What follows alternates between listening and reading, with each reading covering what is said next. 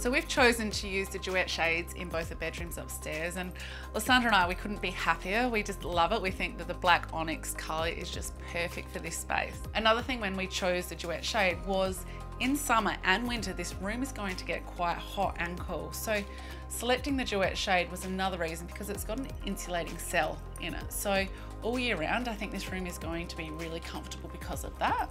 I think certainly when people select their window dressings, they probably don't really take into account the insulating factors. So The other night I slept in this bedroom and in the morning I had the blinds down and it was complete block out. It was, I didn't know what time of the day it was. So having the block out blind in this bedroom was the perfect choice. And it was an essential part of the design.